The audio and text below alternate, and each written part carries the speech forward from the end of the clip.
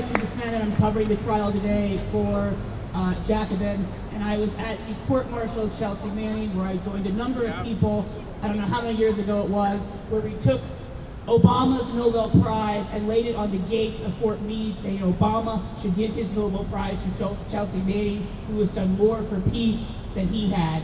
This is the most important. The reason why I am still here 14 years later isn't just because the US and the UK governments will not stop persecuting WikiLeaks. It's because this is the most important press freedom trial of the 21st century, not just for my country, where the stake of the First Amendment is on the line, but for the world. Julian Assange is not an American. WikiLeaks is not an American publication, but the U.S. government says they can come and find you anywhere in the world and put you on trial for exposing their war crimes.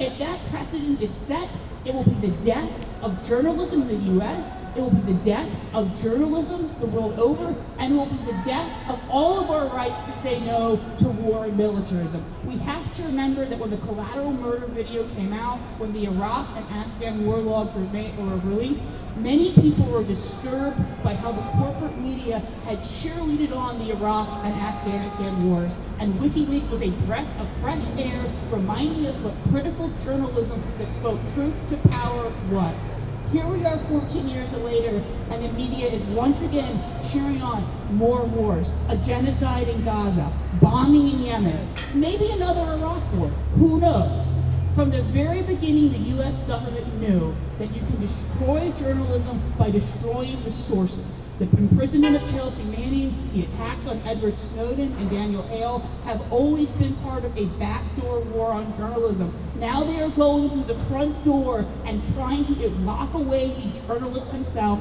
and we cannot allow that to happen. Thank you very much.